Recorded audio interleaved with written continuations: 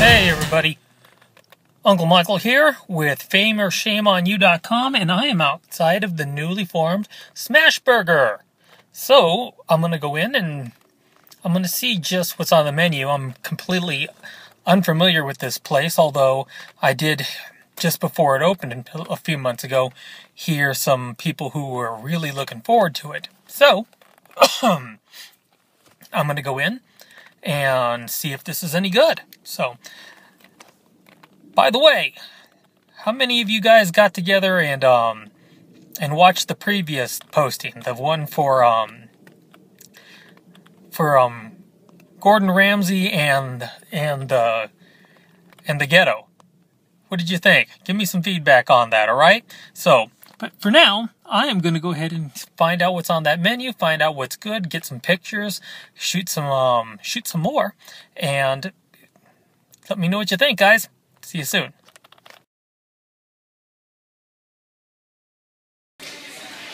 Well, I'm sitting in here waiting for a meal.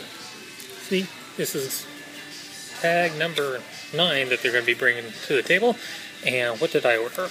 I ordered a barbecue bacon cheese smash burger and a fountain drink.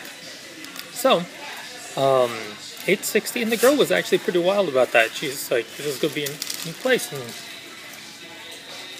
and what happened is she says, she said, uh, and she handed me the thing. She says, can you get your signature? And I said, I'm always happy to, to give, um, to leave an autograph for a pretty lady. She goes, is it worth any money? And that got her $2 tip because I thought that was pretty smart of her. So, so far I'm pretty happy with this. Um, but that doesn't cover the quality of the food, and we're going to have to wait to see how that works out, okay? So, until the food shows up, see you in a little bit.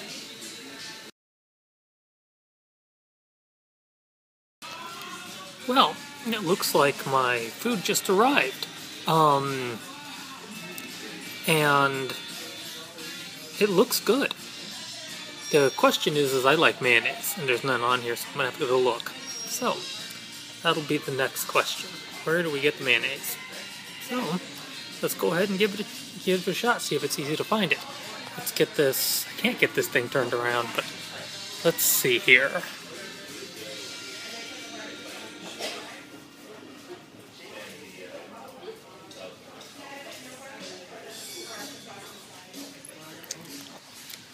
Looks like good stuff, doesn't it?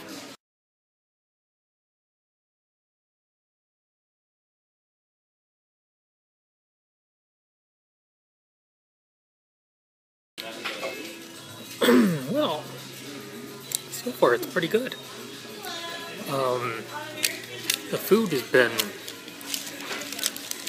served very well, see? Good stuff.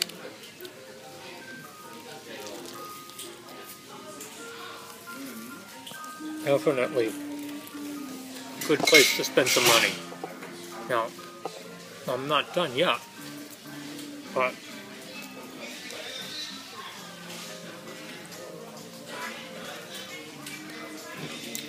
good stuff. I can guarantee it.